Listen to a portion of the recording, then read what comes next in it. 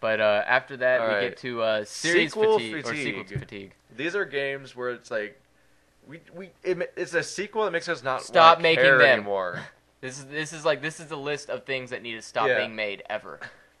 And on the first of the list is Assassin's Creed Revelations, which is Yeah. just the same Assassin's Creed. I'm mad that Brotherhood existed already.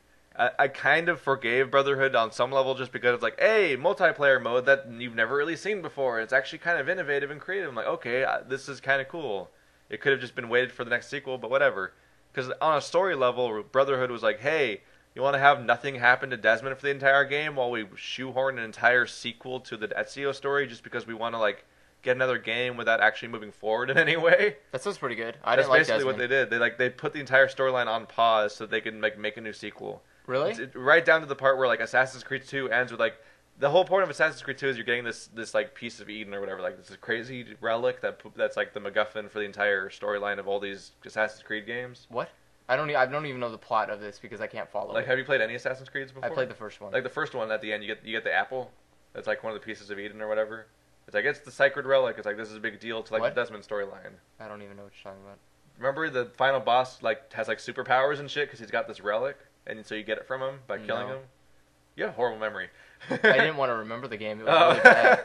Like, but I, I remember Brotherhood, people. Brotherhood ended the same way. It's like I mean, uh, I mean, Remember- Assassin's Creed Two ends the same way. Like, oh, big boss guy, and he's got the relic. Kill him. You got the relic now, yay! And then Brotherhood's like, hey, you want to have them lose the relic first thing when the game starts? Then we have an entire game where we do the same shit that happened in the first game, but on a smaller map. How'd they lose the relic? Because they, they uh, Ezio handed it off to ex, ex, he uh, handed off to uh, exposable. I mean, disposable uh, family member X Y Z, and then they died, and then the bad guys had the relic. So they, What? then he spent the whole game getting the relic again. It's like you fuckers. Okay, I guess. And so that and that's Revelations just like this all combining. It's like oh, here's a brand new game. It's also still about Ezio. You're still I'm, you're probably still hunting after relics or whatever the fuck. And there's no like brand new multiplayer thing to make me like even vaguely interested in it. So I, I've just kind of given up at this point. It's like that sounds sad. I just don't want to play this. Yeah, that just sounds incredibly sad. And then. Batman Arkham City, it's like eh, that's the Batman next Arkham one. Asylum was good. Just keep it yeah, at that. uh, uh, Arkham Asylum was incredible, but there's no Yeah. reason for a sequel to There it. isn't no. And then nothing about a big open world with like extended amounts of transportation and moving around sounds like a good addition to Batman. did you did you see the new uh, the new Batman trailer? No. The new Batman movie trailer? Oh yes. Did, did you With know the- that? Did you know the main villain was Bane? Yeah. You did? I knew that like a year ago. I had no fucking idea. I didn't find that until like a couple weeks ago. Like, did you watch the trailer and then not know it was Bane? Yeah. I watched the trailer. I was like, I was like, who the fuck is this guy with the creepy mask?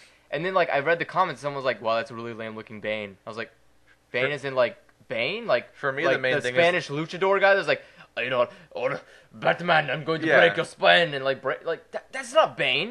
That Well, wasn't did- even close did, to did fucking you see Bane. the Joker and and uh and pretty much I'm pretty sure even Scarecrow was didn't really look like the original Scarecrow. Like these are like Christopher Nolan versions of villains. I didn't like the Joker. The Scarecrow looked. You good. didn't like Heath Ledger's Joker? Why would I? It was terrible. What? How? That's not the Joker. Okay, m- moving on. This isn't even fucking relevant. Sorry, that's just that wasn't. yeah, it just I just that just blew my mind when I saw that. Ultimate Marvel vs. Capcom 3 and Dead Rising 2 off the record. Capcom, basically, stop yeah, re-releasing. Basically, Capcom, stop making games.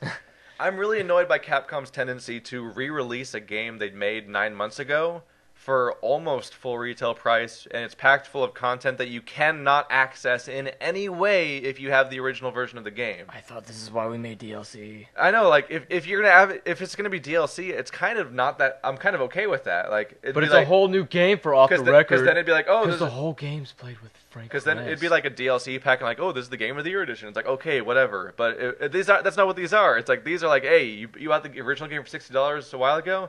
Fuck you! If you want all the new all the content for this game, you have to buy this other disc for forty dollars. And everyone else who buys it now also gets all that stuff for free. So like, they just don't spend sixty dollars in the first place. It's like, Capcom, we're Capcom. Fuck you. yeah, I'm waiting to buy Marvel vs. Capcom until it's like twenty bucks. Red Faction Armageddon. Just, Just stop. stop. God, Armor- fucking the plot's Red done. Faction. You're, you're done with this. Stop. Go Yeah. away, Red Faction. And then Modern Warfare Three. Just, Just, just. just Call of Duty. Call of Duty, yeah, uh, you know what? Honestly, it's not just Modern Warfare. It's just Call of Duty. Just stop. Like we, Uh, you know what? There's one every year. World War I- II was a great was a great to- series to make, even though you kind of did it all right. but it wasn't like the best. And your your time of shine is done. Like, just hand it off. Or at least hire writers. No, just- let, just- just die. Just I, have I just, actual no, writing I want, in I your want- story. I do not want my children to grow up in a world where Call of Duty still exists. I want that to be dead. I want that to be ancient history. I want it to be like, oh, that was the big mistake we made in the gaming history. Like, I don't want that to ever be relevant ever again. Like, Call of Duty just needs to stop fucking being made. It's just no, no more of these. No more of this fucking brown war shooter shit. No one cares anymore. I'm fucking done with it. It's just God, stop it. Just stop. So, wh- wh- which, what would you say was the biggest sequel fatigue from this list? Like for You know me, what? I want to go with Revelations just because like this is a big like it's a breaking point for me. Like this is the game where it's like this I- came out and I stopped caring about the series. Yeah, I almost want to go with the Capcom just because it happens every game. Yeah. It's not just it's not like Assassin's Creed is like one game they fuck up on, but Ubisoft is The only game I can even game. think of by Capcom that doesn't do it is like uh, Devil May Cry. okay. I think that's But, all I can think of. Street Fighter, Even Resident it. Evil. Even Resident Evil. Every fucking Capcom game has a goddamn re- like new release version of it. Same game, something different in the same year. It's just like why Same you game, lower that? price, packed with content you could not get in the for the original version in any way just- whatsoever. Therefore, fuck you for buying it on day one. That's just ugh. that's so fucking Now we get to buy it again, or Yeah. else. uh, yeah.